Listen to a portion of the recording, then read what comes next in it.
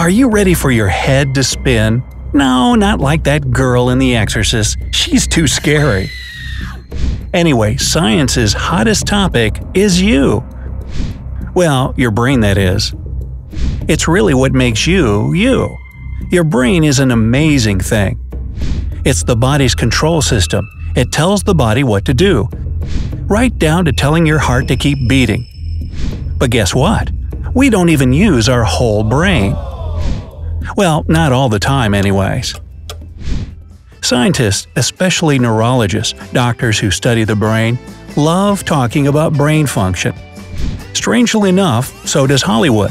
The question of how much of our brain we use is a popular theme in movies and TV shows, too.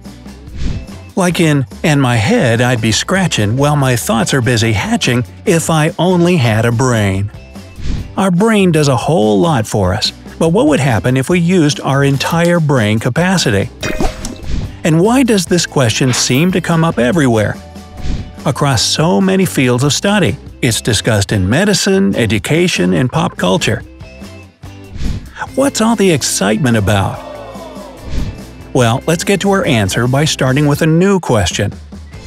How much of our brains do we actually use? And no, it's not the popular 10% myth. That was debunked by numerous studies and neurologist Barry Gordon in Scientific American. The 10% myth has been given way too much credit in films and other media. So most people started believing it was true. It turns out that most of our brain is active most of the time. But not all parts may be working 100% at the same time. This is true even when we're sleeping, because we're most likely dreaming, right? Even dreaming takes a lot of brain activity. The exact percentage we're using is different from person to person, too. So we can't calculate the precise percentage, but you probably use every part of your brain every day, just not all at once. So let's just take a look at the basic parts of the brain and their functions. There are three main large parts the cerebrum, cerebellum, and the brainstem. In addition to our physical functions like walking, playing sports, or blinking, blinking?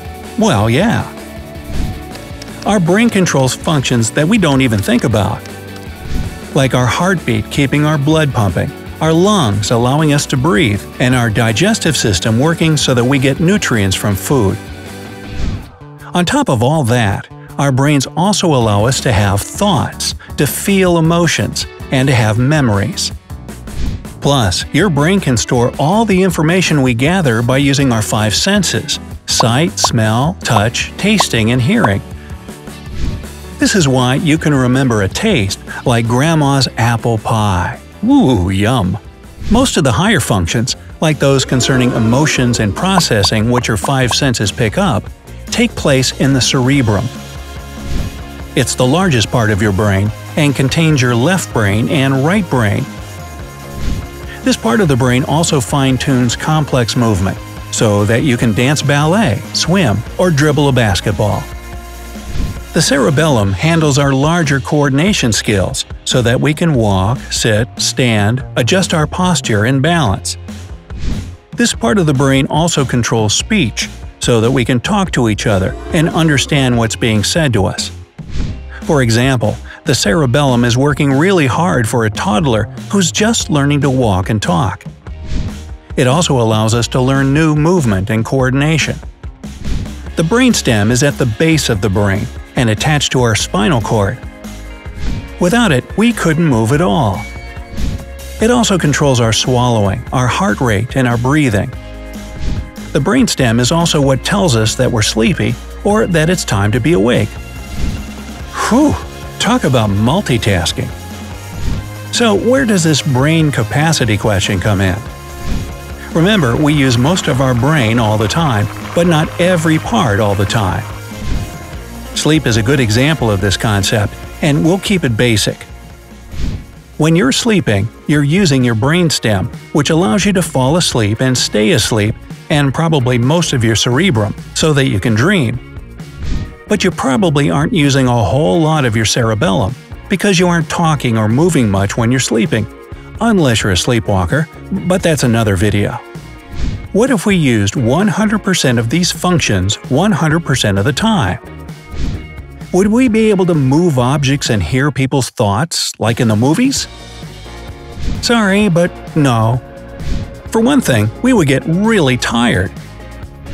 Using all your brain at the same time would require just about all of the blood circulation you have.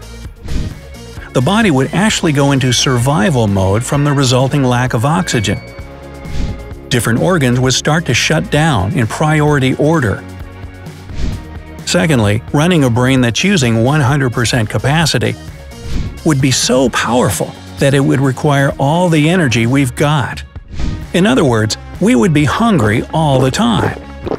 Anyway, our stomachs might not be able to keep up with all the digestion the constant eating would require. That sounds like a bad tummy ache. A brain using full capacity would also mean that our neurons would be firing all the time. In other words, we would be processing sight, smell, touch, taste, and sound at a super high speed, which means we'd be processing and analyzing information constantly. Doing all of this at the same time might make our judgment a little cloudy. We've evolved to the exact point that we're supposed to be, where body and brain are balanced. So, however you want to look at it, if we used 100% brain capacity, our brains would be too powerful for our bodies to handle. Using 100% capacity of our brains just isn't in the cards for us right now. Not physically, mentally, or scientifically there's just no evolutionary purpose. Sorry if that was a bit of a letdown.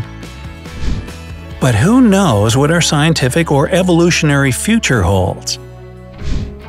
Because our brains and our bodies work in sync, we can push them both simultaneously to our very highest potential. Want to improve your body? Start a workout routine and give your body a healthy diet. Want to stretch your brain? Do jigsaw puzzles, step up your reading game, play Sudoku, whatever challenges you.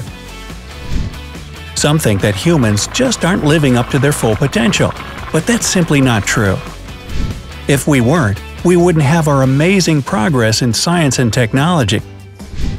We wouldn't have the medical capabilities that we do either. It's because the brain's capacity for learning is a different story, how much we can learn in a lifetime is not limited by our brain's storage capacity. While this, too, isn't infinite, our learning capacity is limited more by things like attention span, getting poor sleep, and whether we met certain age milestones, or for me, whether I lose my marbles entirely or just one at a time. But this is perhaps another topic for another day. When it comes to our brains and our bodies, we get what we give, or lose. So how about you? Do you know of any brain myths or interesting facts about the brain?